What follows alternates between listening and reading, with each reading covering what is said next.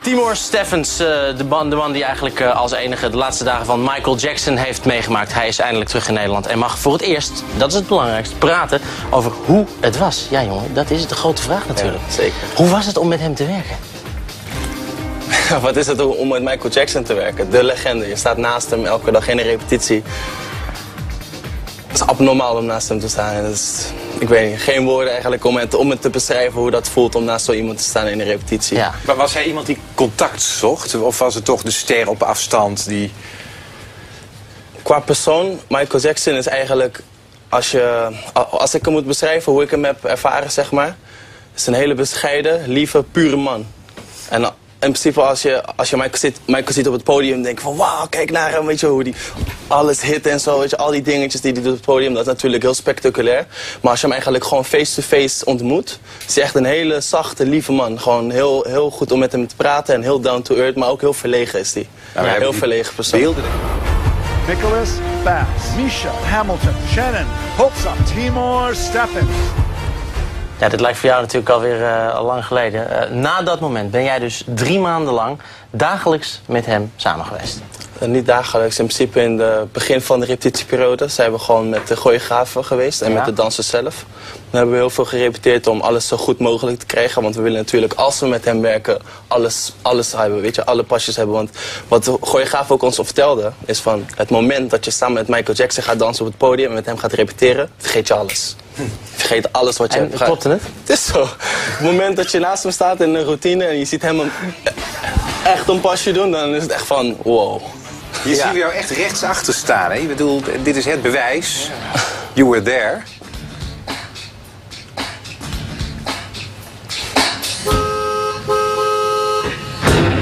Hold for applause, hold for applause, slow umbrella fade out.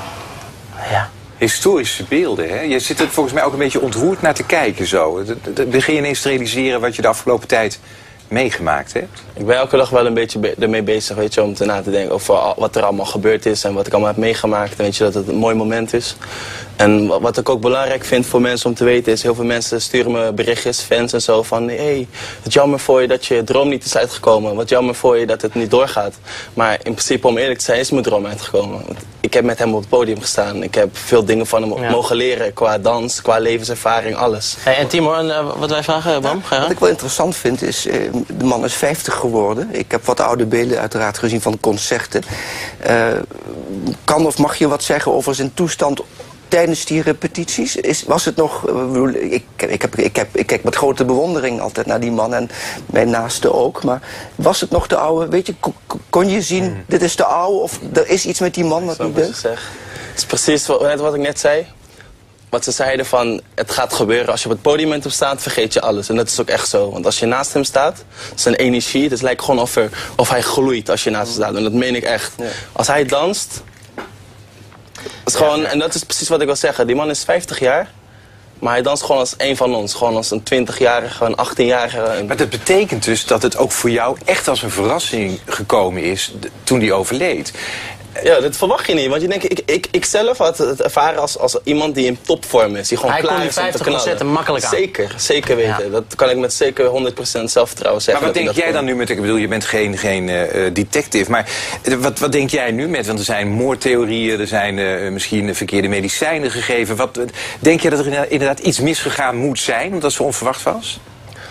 In principe met dat, met dat hele gebeuren ben ik niet eigenlijk bezig geweest. Ik heb er niet eh echt Maar op merkte jij wel misschien dat je aan het repeteren was dat hij, dat hij, dat hij zin had in het optreden? Of, of keek je er tegenop? Dat soort emoties, heb je die Ja, gemerkt? zin had hij zeker. Elke keer dat hij kwam, kwam hij met een glimlach en hij was enthousiast om het te doen. En hij, hij zei ook elke keer hoe blij hij was met de dans die hij heeft en met de band en met de zangers. Hij zei, wow, dit gaat zo goed worden. Hij was, zo, hij was enthousiast, hij wilde het ook echt, weet je. En dat zag je gewoon. En dus, er is geen enkele reden voor dat. Ja, ja. Dat hij ineens dood is. Jij was bij de Memorial, heb je opgetreden. Hè? Hoe was dat achter de schermen?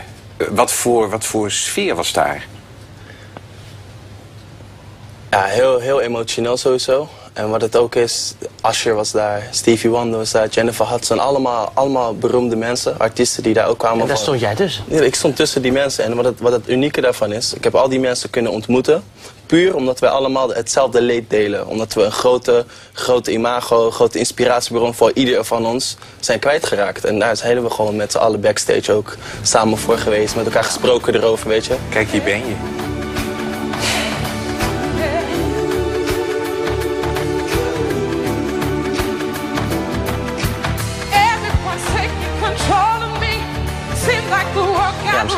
Beetje vertellen hoe, eh, hoe je je voelde op het moment dat je, dat je hier stond, dit moment. Wat, eh, wat ging er toen door je heen? Sowieso is het, is, het, is het gek om daar te staan, weet je. Omdat, normaal sta je op het, op het moment dat ik naast hem stond in de repetitie, is dat al geweldig. Maar nu sta ik gewoon op zijn Memorial Day te dansen. Zijn hele familie zit op de eerste rij. Allemaal artiesten die ook naar je kijken. En je voelt toch een druk, weet je. Je wilt jezelf, je wilt je emoties kwijt om te laten zien hoeveel je om hem gaf en wat, wat hij voor je betekende. En Ja. het is gewoon, ja, best zwaar om daar te staan. De hele wereld heeft eh, naar deze memorial gekeken. Eh, iedereen heeft zo zijn eigen favoriete stukje. Ehm, dat heb jij ook. Ja, ik heb zeker wel een paar stukken die mij hebben ontroerd. Gewoon het feit eh, dat Stevie Wonder ging optreden, dat heeft mij heel erg geraakt. Dat was voor mij heel, heel emotioneel. Maar ook het, eh, het stukje dat een dominee deed, heb ik begrepen. Ja, Al Sharpton ja. heeft een, speech gegeven daar. En dat staat gewoon precies waar Michael Jackson al die jaren voor heeft gevochten. Dat vertelt Al Sharpton in die speech. En dat laat je eigenlijk realiseren hoe bijzonder die man is, Michael Ja. Jackson. Nou, even kijken. I want his three children to know. Wasn't nothing strange about your daddy. It was strange what your daddy had to deal with. But he dealt with it mooi hè? En nu man, wat ga je nu doen? Want ik, ik, ik heb jou eh, gezien in eh, So You Think You Can Dance. Ik zag hoe de Amerikanen enthousiast. Iedereen riep tijdens dat programma, die man raken we kwijt. Die gaat internationaal, die gaat naar Amerika. Dit was je, je eerste avontuur. Wat gaat er nu verder met jou gebeuren? In principe probeer ik nu te streven om ook mensen te kunnen inspireren wat Michael Jackson voor mij heeft gedaan. Dus ik wil gewoon verder ontwikkelen.